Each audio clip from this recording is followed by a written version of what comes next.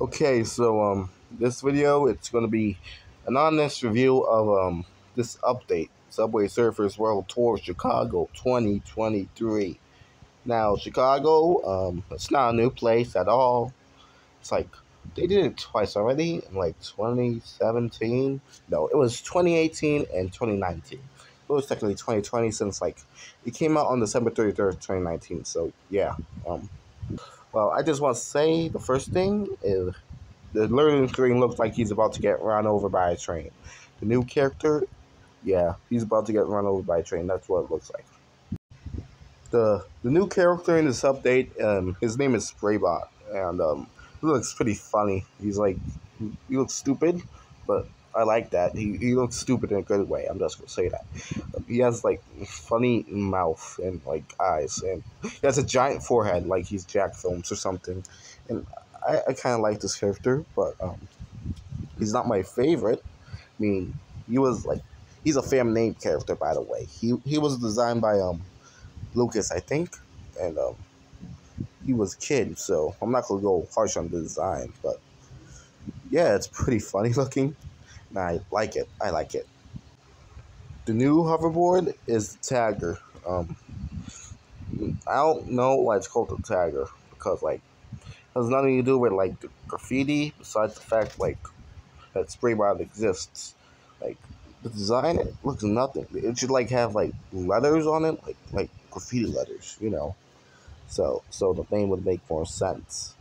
Uh, but it has double jump and that's good power. Yeah. So um, these are the, the, the special events for the, the, the update, and they're they're a pretty good selection of places. Um, Cairo, it's kind of boring though. Oxford and Tokyo, they're good, but I have no idea why they didn't just like make all the other places USA locations as well, like Chicago, because like they have like enough to do that. They have like so the places that they could put in are like New York and Houston and um, and San Francisco. That's like all the all the USA locations we have right now, past like Berlin, because that's like they they never go before Berlin and the updates. I don't know why. The the time attack was also in Cairo as well, but they they removed that and they replaced it with um the the special time attack, the special edition, where you can get like Phantasma, the guy, and like the Torito board. And it's for Cinco de Mayo and it's in Mexico, of course.